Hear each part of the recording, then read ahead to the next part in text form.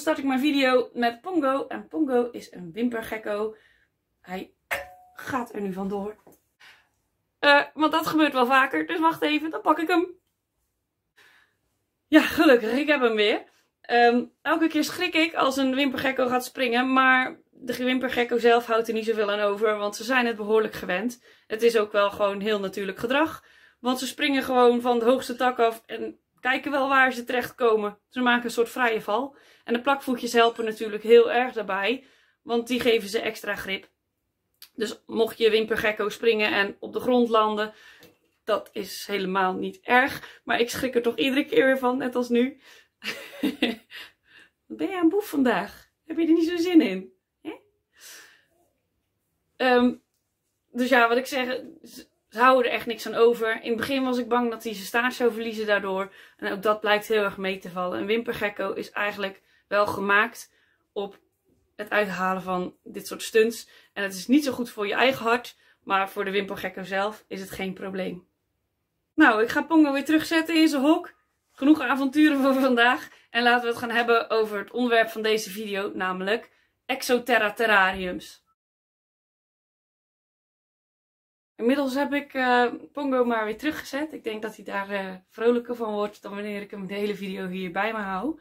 Um, en waar ik het met jullie vandaag over wilde hebben was over de exoterrariums. Ik ben een enorme fan van Exoterra. En ik heb ook heel veel terrariums. Gewoon omdat ze zo gebruiksvriendelijk zijn.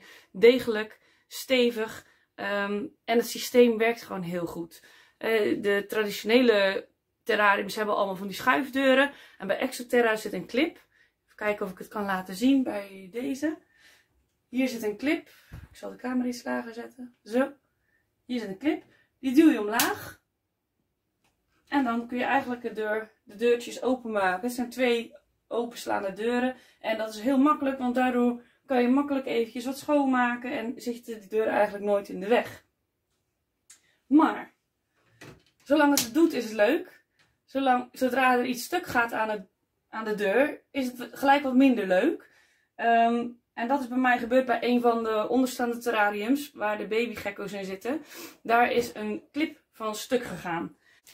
En nu heb ik een oplossing gevonden. Ik heb op Amazon heb ik, uh, een nieuwe clip besteld. Van Exoterra. Met een, uh, ja, het, het labeltje, het merklabeltje. Dus de knop zelf. Het binnenwerk en de veer. En ik denk dat daar het probleem in zit. Dat de veer uit de oude clip kapot is gegaan.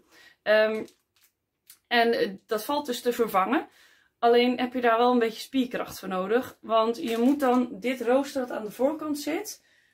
Um, daar zit aan de binnenkant een ventilatierooster. En dat moet je aan de binnenkant losklippen. Er zitten, uh, afhankelijk van hoe groot je terrarium is. Uh, één, bij deze zitten er drie clips. En die moet je naar binnen duwen en naar boven. Um, nu ben ik daar niet zo heel goed in. Maar gelukkig heb ik een handige man die mij daarmee kan helpen. Dus we gaan ermee aan de slag. En zodra ik het voor elkaar heb, ga ik weer verder met de video.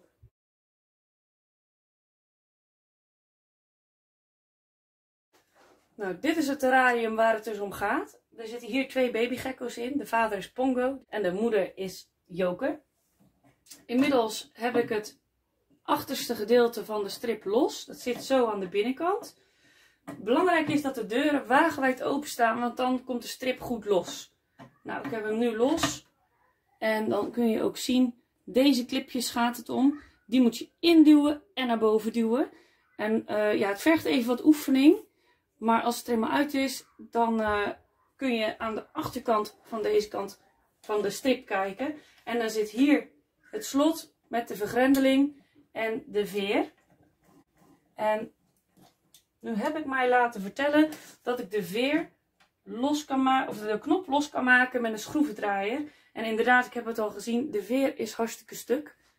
Even proberen of, om scherp te stellen. De veer is stuk, hij is hier afgebroken. En dit kleine veertje zorgt ervoor dat uh, de knop op spanning komt te staan. Dus je hebt hem ook echt nodig. Um, dus ja, zo'n klein onderdeeltje kan een hoop ellende veroorzaken. En dat gaan we vandaag even proberen te maken. Ik ga een schroevendraaier halen in de garage. En dan uh, filmen we zo verder. Nou, Het vinden van een schroevendraaier bleek een beetje lastig. Ehm, dus ik heb een Zwitser zakmes. En daar zit ook een schroevendraaier op. En ik denk dat ze een heel eind kunnen komen. Ehm, dit is de nieuwe clip. Hier is de veer wel uh, nog van heel. Ehm, en dit is de knop. En nu ga ik aan de binnenkant van het terrarium, aan deze kant, de schroevendraaier ertussen zetten. En dan een kwartslag draaien. Dan komt deze wat verder open te staan. En dan moet de knop eigenlijk loslaten, zodat je het eruit kan halen in één geheel. Daar ga ik even mee aan de slag. Ja, het is gelukt. Um, je kan de clip er dus niet heel uithalen. Je moet de clip echt kapot maken, kwam ik achter. Uh, dus dat heb ik ook gedaan. En dan ziet hij er zo uit. Even kijken of ik hem nog iets scherper kan stellen. Zo. En dit is de knop. Nou, de oude knop en het oude slot gooi ik weg. En dat ga ik vervangen voor uh, de nieuwe set. En dan hoop ik dat nu het deurtje weer vanzelf goed zal sluiten.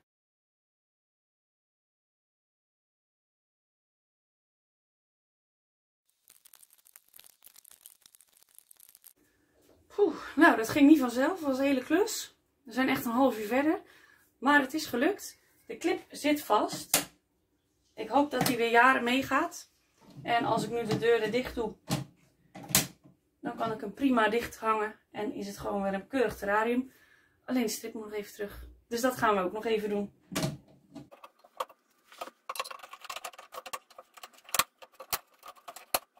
De strip terugplaatsen gaat een stuk makkelijker dan hem eruit te halen. Uh, kwam het bij deze ook wel, omdat daartussen nog wat viezigheid zat. En dat maakt het ook wat lastiger om hem eh, te demonteren. Gelukkig is het nu gelukt. En is hij weer zo goed als nieuw. Vond je deze video nou interessant? Vond je het nou leuk om deze video te zien? Vergeet dan vooral niet om mijn kanaal te liken. Uh, je kunt me ook volgen op Facebook. Binnenkort zal ik ook nog een video maken over hoe je een terrarium bioactief maakt. Dus stay tuned. Vergeet niet de video te liken en te abonneren. En